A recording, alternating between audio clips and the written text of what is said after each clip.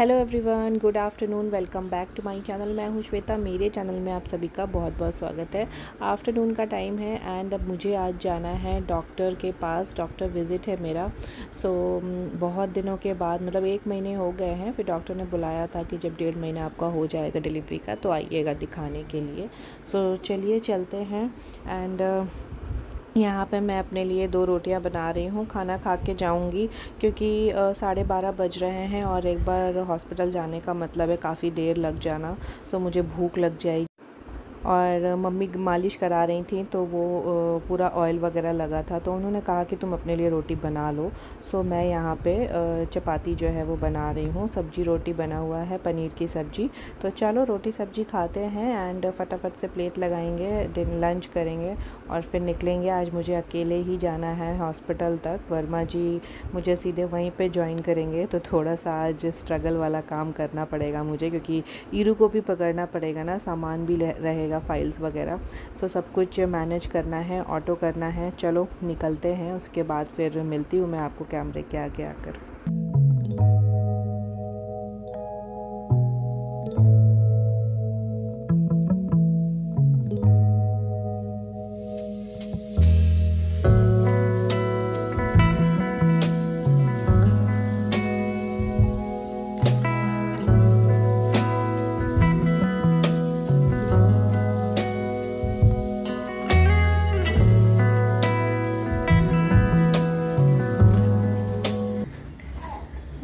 Guys मैं फटाफट से लंच करती हूँ एंड निकलती हूँ।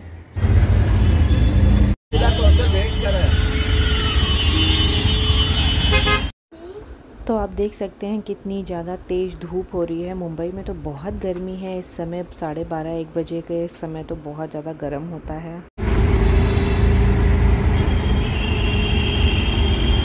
वर्मा जी आए नहीं हैं एंड मैं आ गई हूँ और बिलिंग के लिए नीचे जाना होगा बट बेबी को लेके जाने में थोड़ा मुश्किल होगा।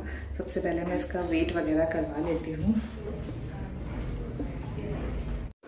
तो एक्चुअली हुआ क्या? जब मैं पहुँची ना तो मुझे देर हो गई थी, क्योंकि मेरा अपॉइंटमेंट साढ़े बारह बजे का था बट मुझे आते आते काफ़ी लेट हो गया। और फिर तब तक सब लोग लंच पे चले गए थे तो बिलिंग कराने के लिए फिर नीचे फ़र्स्ट फ्लोर में जाना पड़ता, जो कि बहुत मुश्किल था मेरे लिए। क्योंकि इस समय मेरे पास ईरा भी थी फाइल्स का बैग भी था तो थोड़ा मुश्किल है।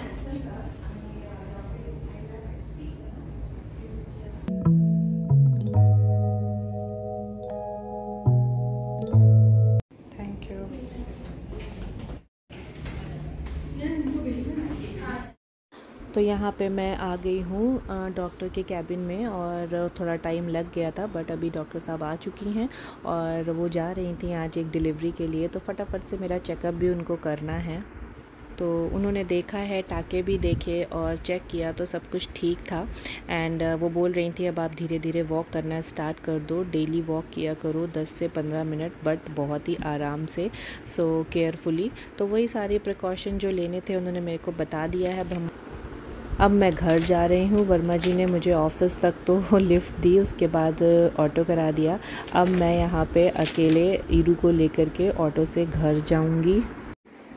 ओके गाइस तो मैं आ गई थी, उसके बाद ईरू को फ़ीड वगैरह करवाया है। अभी उसको इसमें लिटा दिया है। एंड मैं मशीन लगा के गई थी तो कपड़े जो है मेरे सूख गए हैं। ये सारे मेरे को अभी इसको फैलाना है। तो चलो, निकालते हैं इतने सारे कपड़े। फैलाने हैं इनको।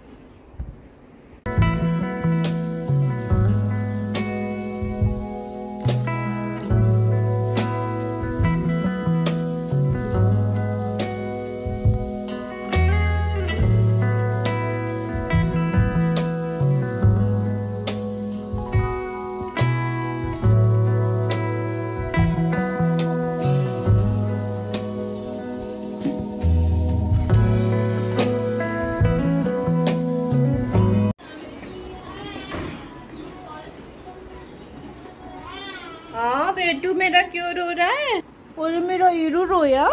मम्मा गई थी कपड़े फैलाने? हाँ। क्या हुआ?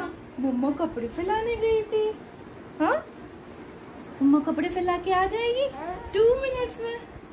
आप लेटो हाँ? माँ आ रही है टू मिनट्स में आ रही है। तो के कपड़े और हैं। तो यहाँ पे मैंने सारे कपड़े फैला दिए हैं। पीहू के ही बहुत सारे कपड़े हो जाते हैं डेली वेयर के। बेटा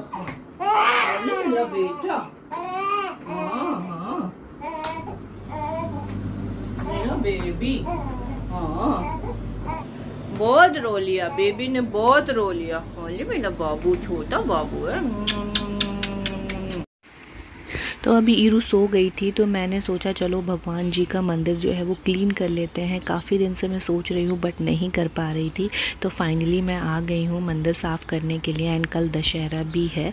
आई नो ये व्लॉग थोड़ा लेट आ रहा है दो तीन दिन बट क्या करूँ? मुझे एडिटिंग का टाइम ही नहीं मिल रहा था और तो बस वही है यहाँ पे मैंने मंदिर क्लीन करना स्टार्ट किया है सब कुछ हटा के मंदिर का और फिर उसके बाद मैंने अच्छे से साफ़ कर दिया है। ये माला जो लगी है ना ये जो ऑरेंज और येलो वाली फ्लावर की ये भी गिर गई थी निकल गई थी तो मैंने उसको अच्छे से टेप करके लगाया और थोड़ा सा साफ़ किया। भगवान जी को जो एक्स्ट्रा सामान था वो सब हटाया। जो साइड में अलमीरा है ना जिसमें भगवान का भग, मंदिर का ये सामान रखती हूँ वो सब भी मैंने अच्छे से क्लीन कर दिया है।